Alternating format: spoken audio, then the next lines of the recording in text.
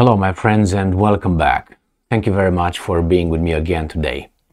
Well, I am glad this is what happened uh, today, and there's a Supreme Court strikes down university race conscious uh, admission policies.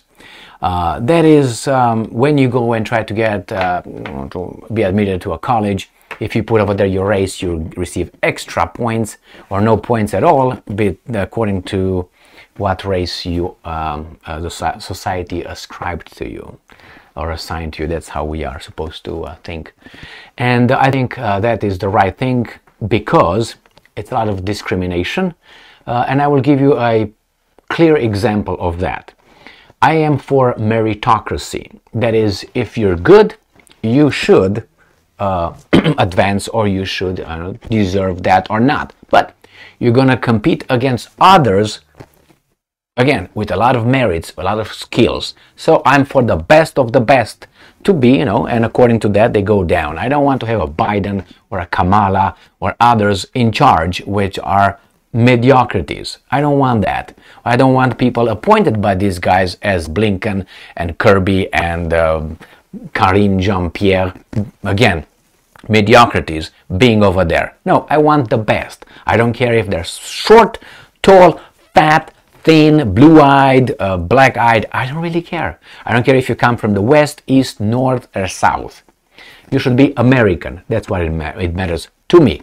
And that's what we say we love. Uh, anyway, I'm going to give an example as a general rule. I don't like, I don't want preferential treatment to anyone because preferential treatment means that if you help someone for a certain kind of reason that he did not work for, that means you think that person does not deserve so it needs boost. So you you're a boost. So that means you acknowledge that person's uh,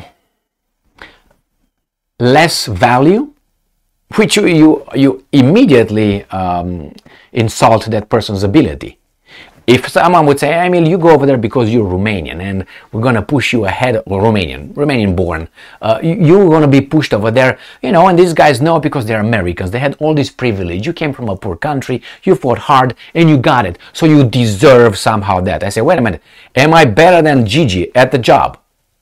No, no, but you were born in Romania, so that's why. Am I better? No. Then I, I don't want that job. He should have it for the common good. Remember the common good? It takes a village to raise a child, blah, blah, blah. Again, the works here, but not over there. Now let, let, let me give you, uh, this is a general rule. No uh, uh, preferential treatment for things that you don't deserve. And I've been abused a lot. Do I get anything?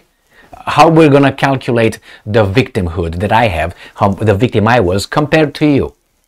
Are we gonna uh, count that? All right, let's look at this example. I'm gonna give me as an example on this affirmative action and this little thing that happened here. I'm going to show you first the titles.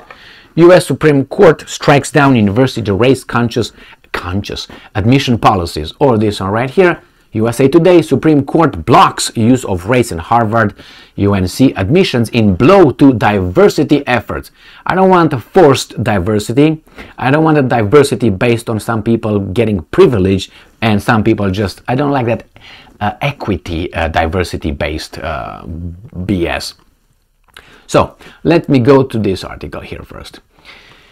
The Supreme Court today, June 29th, on uh, Thursday, struck down race conscious, I like how they call it, race conscious, student admissions programs currently used at Harvard University and University of North Carolina in a sharp setback to affirmative action policies often used used increase the number of blacks, Hispanics, and other unrepresented minority groups on campuses.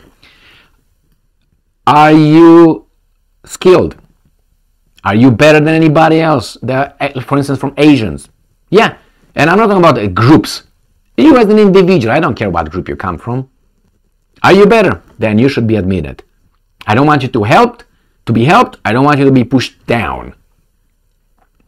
So the justice ruled in favor of a group called Student for Fair Admissions, founded by anti-affirmative. It's not anti, you know, it's fair. Remember, it's in the name right here, fair.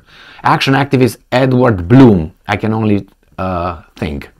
in its appeal of lower court ruling upholding programs used to the two prestigious schools to foster a diverse, forced diverse, artificial diverse student population. So, um, according to Harvard, almost 40% of US colleges and universities consider race in some fashion to promote blah blah blah trulu. I am against that. And let's go back to my situation. I'm obviously a poor victim immigrant who choose to show up here. Well, I was not dragged from the Romanian plantation into the US plantation. No, I said I'm going to go over there because over there I will get better food on the plantation. I'm to still cut, you know, sugar cane, but these guys are going to feed me better, a little bit uh, less beating and uh, a little bit more. They allow me to sing. Over there, they don't let me sing, or they let me sing, but you know, nothing. They give me worse food and they want me to work harder. Uh, uh, well, I said, this is the better deal. I'm just making it funny or trying to anyway, because uh, to a certain extent that's what it is. I came here. They didn't drag me here. But it doesn't mean that you can make things better if you see them that can be improved. So that's exactly what I'm trying to do. So what happened here? I came here. All right. Mm -mm -mm all right. I have children. Now, my children uh, are obviously started as anybody around here. Now, I am considered white. Okay, that's what I'm considered. And let's say a guy from uh, Uganda, my friends, or Zimbabwe shows up like I did. And his children, you know, the same thing. They come here from Uganda and they come over here and they're going to benefit for uh, admission, uh, quotas, and how do you want to call them, affirmative action, diversity. My children will not. So his children, let's say, has an SAT lower than mine, but with less, a little bit lower, which means they should not go ahead of my children, but with that affirmative action, uh, up a little bit higher. They would go to college, my kids will not, even though they are proven to have more merits to go over there. Now, why am I? Why should I suffer and my kids be suffering?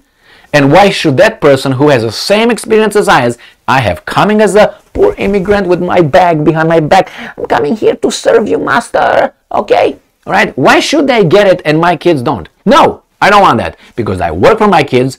I did what I was supposed to do here. I wanted opportunity to work like a uh, uh, uh, chick chick chick, and I did. I didn't complain it complain about it. Neither that person, but why should that person be pushed and I should be keep, kept back for something some people did 100 and uh, whatever 50, 60, 90, 200 years ago? No, no, I have no guilt. No guilt. I didn't do anything.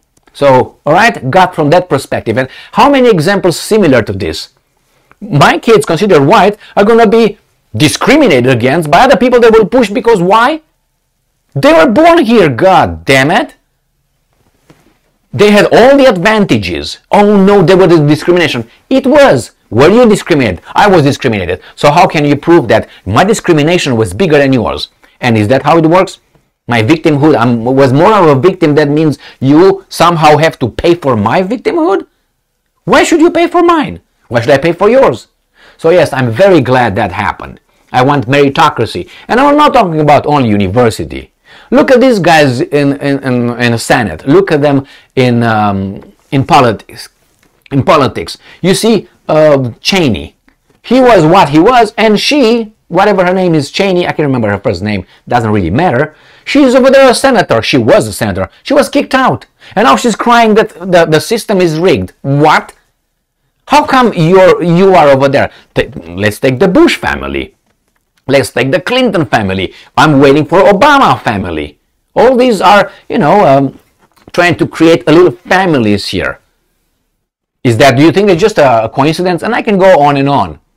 I like Rand Paul. I, I like his father, but doesn't show a little bit of uh, what a coincidence. Daddy, senator, son, senator. I like them both a lot, but I can't, I can't ignore evidence and fact. It's just a coincidence. And how many are related? I think I had an, an article, I don't know, 15 years ago that I read how many people in the in, in Washington and at the Capitol are related, or in the U.S. government. I'm talking about White House and uh, at the higher higher hierarchy, biggest uh, hierarchy over there. How many are related through marriage to uh, uh, uh to kids and so on? I think it was a big big number, 80%, something like that or 60, 70, 80, above, I know it was above 60.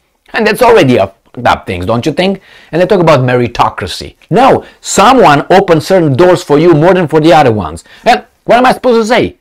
Did they do anything illegal? If they did, then out. But I guarantee, not guarantee you, but I'm pretty sure that a lot of those people did not deserve to be in that position. So how are we going to figure that things out? By what? By pushing others against others that have nothing to do with it? Why should I be punished? No, Gigi, no. I'm against that. Go and study, go and work hard and make a living. I worked here as a busboy for $5, $6 an hour. I worked here like a like a like a like a slave. I want it, and I worked and I saved money. Can you believe that? Hmm, hmm, hmm. In this bad country that it is. But I didn't ask for any handouts, so don't ask for anything. I came here with nothing, and I have a lot, a lot more than I need much more than I need. I have so much that I gave to others, I'm going to keep giving to others. And you could, I need the boost because my pussy hurts. Shut up. Up. Go and go. Change your attitude.